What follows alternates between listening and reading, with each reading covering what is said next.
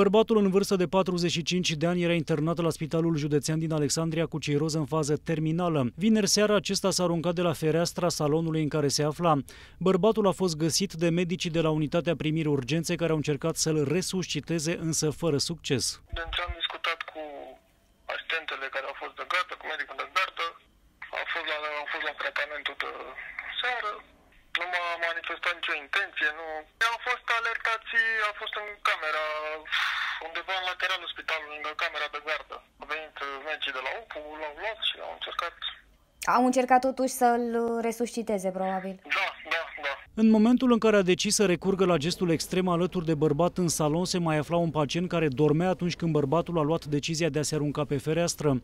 Cazul se află acum în atenția polițiștilor teleormăneni care au deschis un dosar penal pentru moarte suspectă.